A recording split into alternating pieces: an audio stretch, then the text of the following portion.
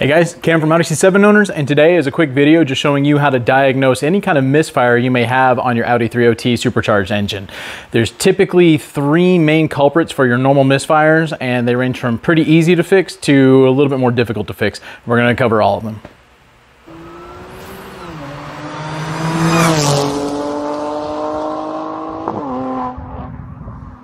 Okay, so let's talk about the three main issues that can result in having a misfire on your supercharged 3.0T engine.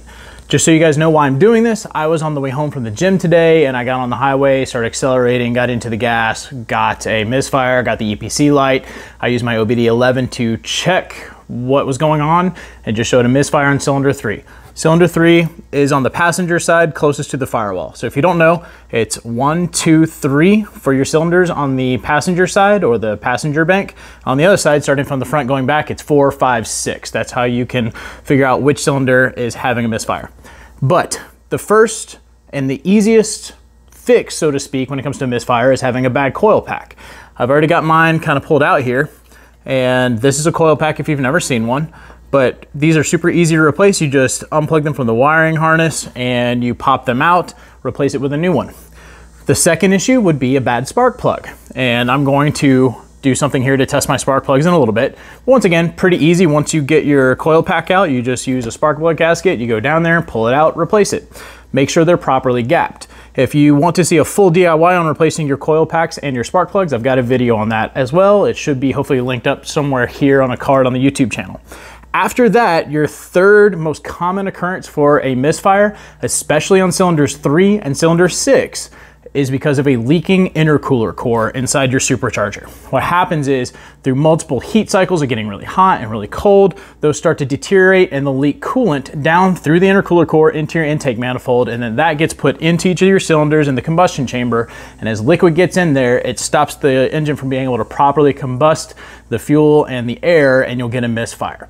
That requires removing the supercharger, disassembling the supercharger to replace those cores. So that's your biggest, most intensive replacement. I think that's what's going on with mine because I have a used intercooler core on the passenger side, but I'm gonna do some diagnosing first to figure out exactly what's going on before I tear that apart. So that's what I'm gonna show you what I'm gonna do.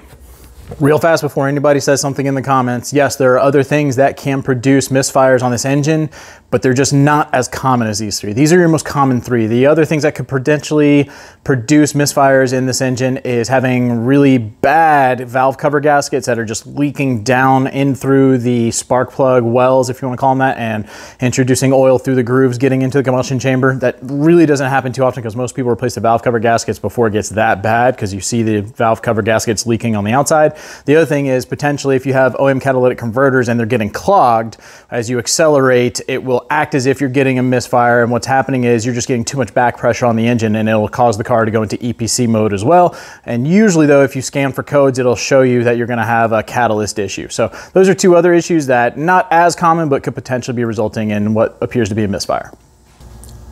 Now let's talk about how we're gonna diagnose what is causing the misfire. The first and the easiest way to diagnose what is going on with your misfire is to just swap two of the coil packs.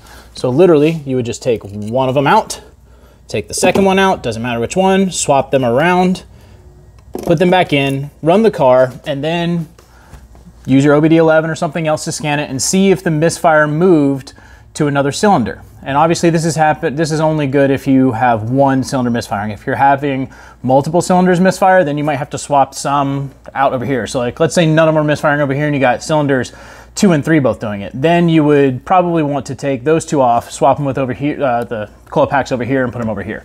So a little bit more intensive, but still fairly simple. So if you swap those two around, you go and you drive and the cylinder that is misfiring goes from cylinder three to cylinder two or whatever it is, it moves, then you know you have a coil pack issue and you need to replace your coil pack. Super simple fix, relatively cheap, good to go. But what happens if you do that and it's still sitting in cylinder three or the original cylinder that you have misfires in? Then you have to take everything apart again and you have to move your spark plug. You, know, you can inspect it and see what it looks like, but if it looks okay, if it's defective, you'll have to swap it with another cylinder. So you would remove those out, swap those two, do that. I'm gonna do this all at once. So what I'm gonna do is I'm going to swap these And then I'm also gonna take the spark plug out of cylinder three that's misfiring, and I'm gonna move it to uh, cylinder one. And the reason I'm not gonna move it to cylinder two is because I've already swapped the coil packs. So if I swap this uh, spark plug in the same cylinder that I swapped a coil pack and it moves to cylinder two, I don't know if it's the coil pack or the spark plug. So I'm gonna move cylinder three spark plug to cylinder one, swap them there. I'm gonna move, as I've already done, cylinder three's coil pack to cylinder two. And then I know if it moves to cylinder two, I've got a coil pack issue. If it moves to cylinder one, then I got a spark plug issue. If it doesn't move at all and it's still in cylinder three, I've likely got a leaking intercooler core issue. So that's what I'm gonna go ahead and do. Pro tip, while you're doing this, it's always a really good idea to verify your spark plug gap for the tune that you have on your car. There's different gaps recommended from different companies for different stages of your tunes. So go ahead and verify which one you should have on your spark plugs. Make sure you're running the correct spark plugs. And then you want to get something that is accurate at verifying the spark plug gap. I highly suggest getting the thin metal strips that verify the spark plug gap as well as one of those things off of eBay that allows you to really precisely compress your spark plug to get like the perfect fitment. Uh, they cost like 10 or 15 bucks on eBay. Don't use the little chip coin thing. That's just not very accurate. I just got all my spark plugs removed and just doing some inspection here. I think I know what the issue is. We're still going to diagnose it how I said, but if we go over here and we look at the tips, you can see that that one has a little bit of ash fouling on it compared to the others and, and, this looks a lot darker than it you know really is because I don't have great lighting here. But the other two look normal. They look exactly how they should. This one has some ash fouling and that's indicative of some coolant or water because I'm running distilled water getting into the combustion chamber and that's what it's going to look like. So more than likely I have a leaking intercooler core we just got the car all buttoned back together. Like I said, for my particular case, cylinder three is misfiring, so we swapped the cylinder three coil pack to cylinder two. Uh, we swapped the cylinder 3 spark plug to cylinder 1. I inspected them all. The cylinder 3 spark plug that I moved did have ash fouling, so it looks like I probably have a leaking intercooler core, but we're going to go ahead and take the car for a spin, get it to misfire again. We'll scan it with OBD11 and see if the misfire moved. If it did, great, that's an easy fix. If not, I'm going to have to swap my intercooler core. All right, guys, I hope you found this video informative and helpful. It's pretty easy to diagnose your typical misfire on these cars. Like I said, usually it's the spark plug, the coil pack, or the uh, intercooler core. Beyond that, if doing this doesn't fix it, then you might have a bigger issue going on with oil seeping down into the combustion chamber or potentially a catalytic converter failing if you still have your OEM catalytic converters.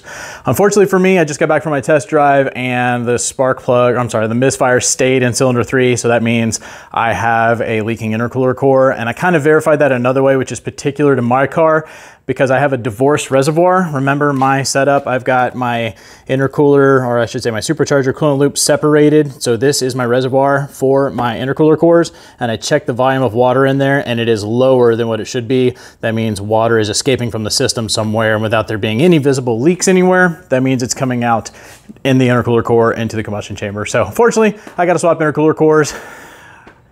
Just another day in the life of the Audi C7 owners. Once again, thank you for tuning in to another video. Like and subscribe, and we will see you on the next one.